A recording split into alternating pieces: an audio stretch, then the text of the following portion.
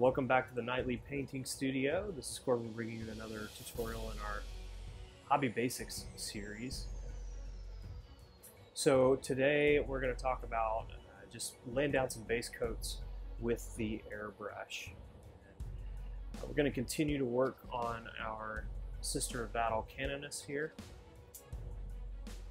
So the scheme that I'm going for is kind of a modified uh, Argent Shroud so this is one that I've already done. This is a Battle Sister from the exclusive starter box. So we've gone with the black robes instead of the kind of beige, pale colored robes with red on the inside. So what I wanted to do to make this canoness stand out a little bit was I wanted to do red on the outside and black on the inside going to present a, a little bit of a challenge.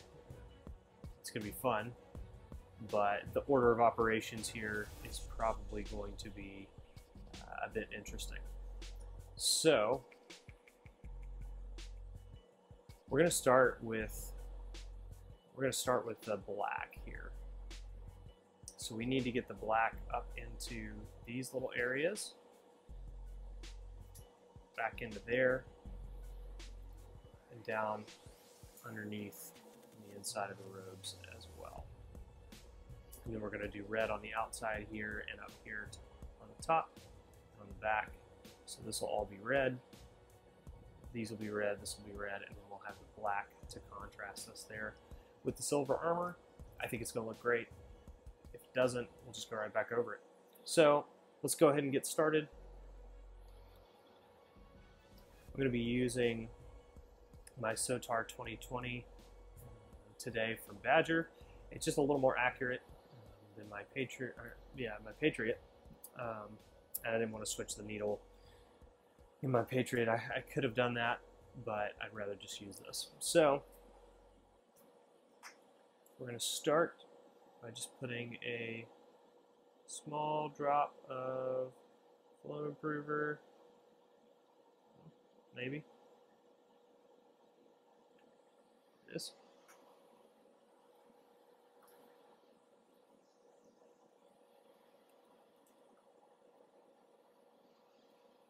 Open our paint pot. By the way, Games Workshop paint pots are the worst to deal with with the airbrush. It's paint. It's a royal paint.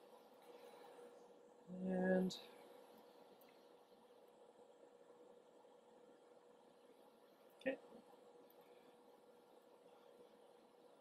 I put just a little more black in there, switch it all around. You can't really see what I'm doing there because it's black and the inside of the cup is black.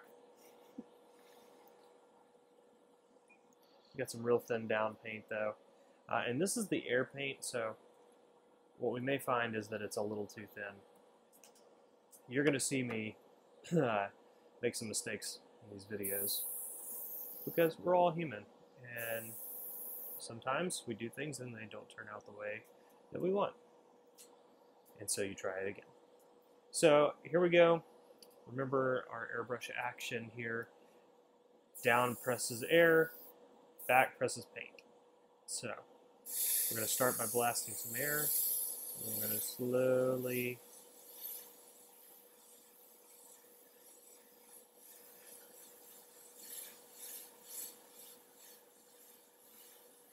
slowly, slowly go in with our, with our black paint there.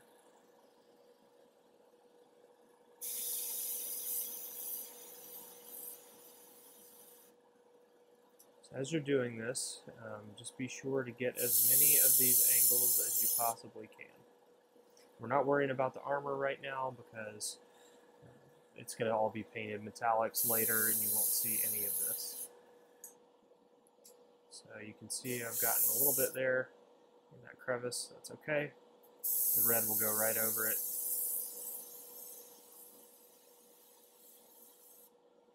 I'm going to do black for the corset there. Chest armor.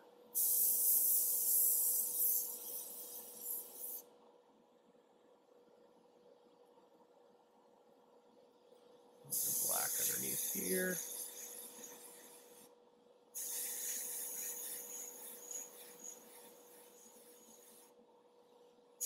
said earlier, we're not going to worry too much about getting black on any of the legs or armor or any of that stuff. So sometimes maybe what you're what you're seeing a little bit of here is the paint's really thin. So if I blast a little too hard or if I stay in the same spot a little longer than I should, it's going to build up a little much and we're going to get a result that we don't really want.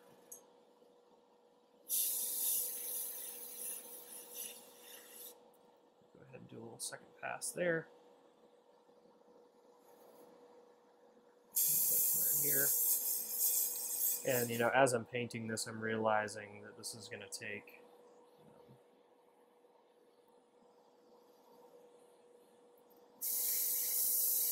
going to take a bit of brush work on the other end of this to go in and clean up and hit some of these spots that are just not easy to hit with the airbrush currently.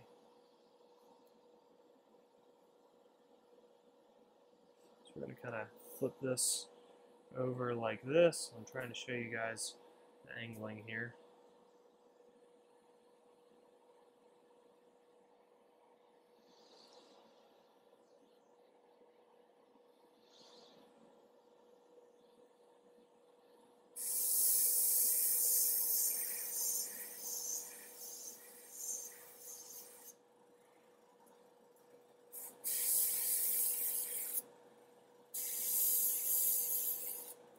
So much about working with the airbrush is actually about finding the right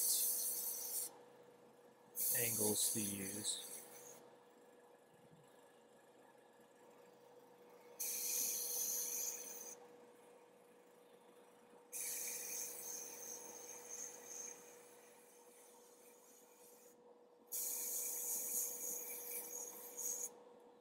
Trying to make sure we capture all this on the camera.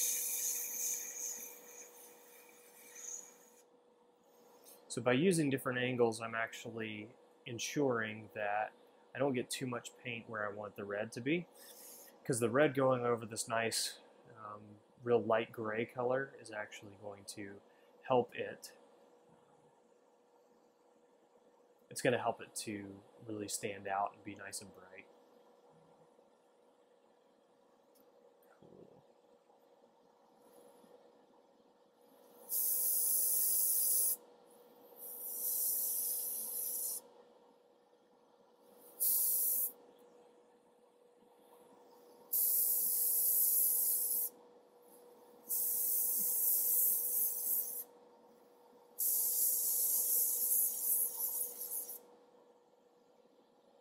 Again.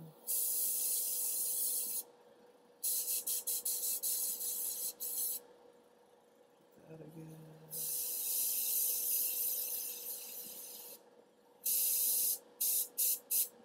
Hit the inside of the folds right in here. Sorry. a nice view of my hand. So currently I'm trying to get these these folds right in here.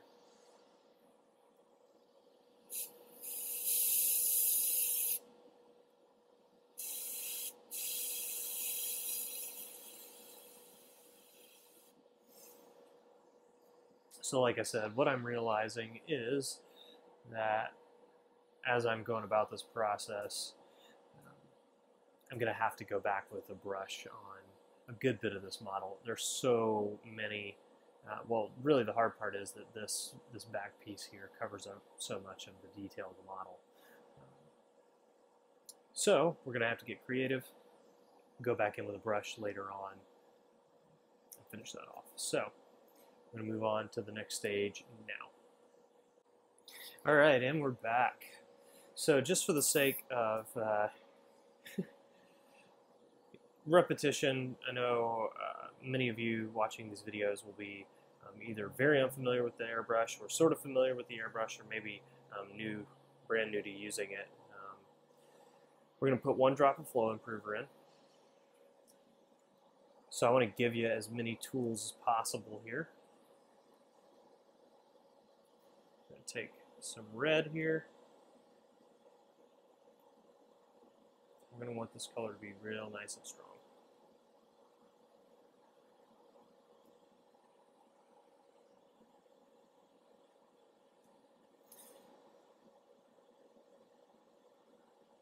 So with this particular color, I'm actually um, using the base paint instead of the air paint.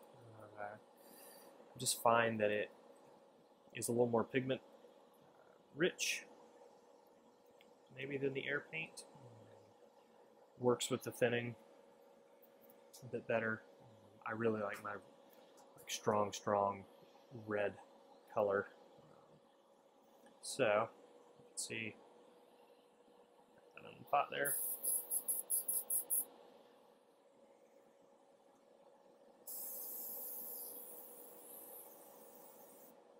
Nice strong red there. Okay, so let's start on the back here. Make sure I'm in nice camera view here.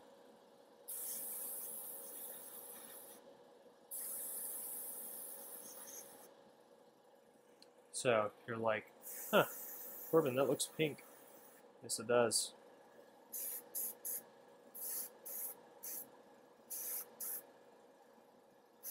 Yes, it does, but it will not for long.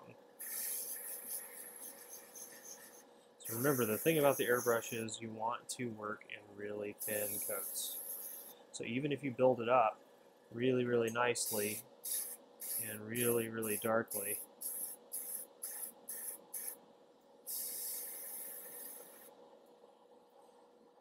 You just want to work in really thin coats.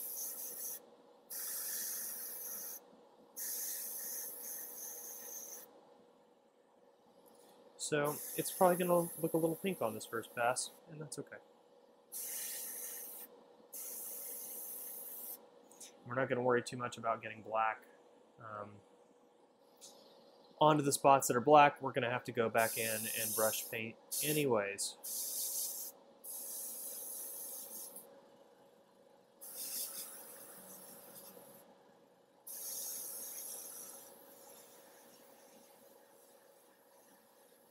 You can see there as we go back for that second pass, it's looking a lot better.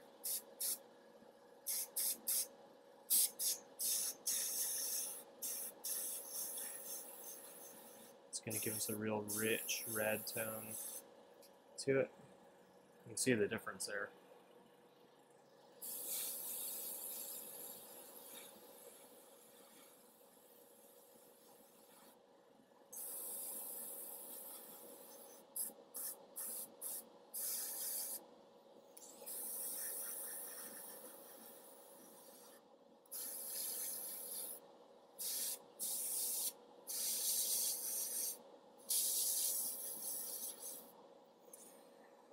So really cool technique that I'll do another video on separately or point you to a great video on um, is working with uh, zenithal highlights. Uh, I'll probably do a video on one, but um, learned that technique from uh, a guy named Vince Venturella. Hope I didn't just butcher his, his last name, but Vince is an awesome guy. He's an incredible painter. Um, if you haven't checked out his channel, you should because he's just a fantastic teacher. But zenithal highlighting is um, basically looking at where the sun's zenith would hit the model. Um, so you want want to come like down, almost on top of the model's head, right? you can actually do like a gray and then white. Look, makes it look a little more realistic um, in many ways. A little more like it's an actual subject and not a model.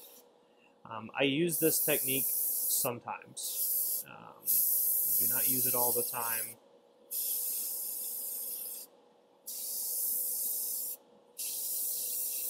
But you know, as I'm doing this, I'm working with these really thin reds. Might be a good idea for these models. Might work really well.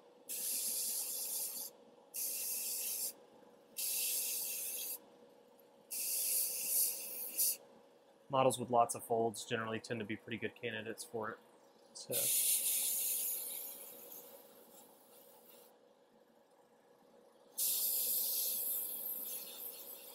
So you can see that eh, a lot of our black here is actually turned red, and that's okay. We'll get it with a brush later on. But it's nice to be able to get that um, real firm highlight down, or uh, base coat down. So, so this is um, what base coating with the airbrush um, really looks like. It's lots of thin layers to build up that that first layer of paint, right?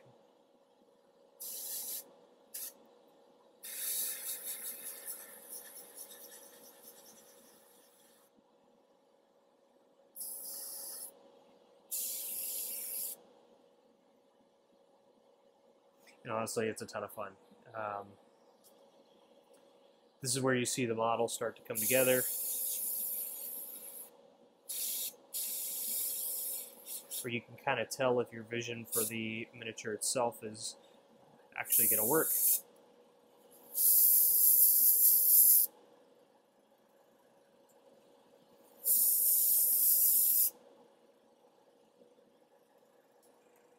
And I think this model is going to look really cool. So, that's it for the base coating with the airbrush tutorial. Um, I think it's going to look really striking next to the um, opposite colored sisters. It's going to look really good. So if you have any questions, further questions, go ahead and post them in the comments down below. Love to see what you think of the video. If there's something you thought I could do better, I'd love to hear that as well. Um, something you learned, something that you benefited from from this video, leave that in the comments at the bottom. And uh, like, share, and subscribe. We are currently supporting our local game store with this. That's what all these videos are for. They're tutorials for my buddies at the game store who are um, wanting to learn more about painting using the airbrush and uh, learning new techniques. So hope this benefits anyone else watching as well. Let me know where you're watching from. Hope to see you guys in the next video.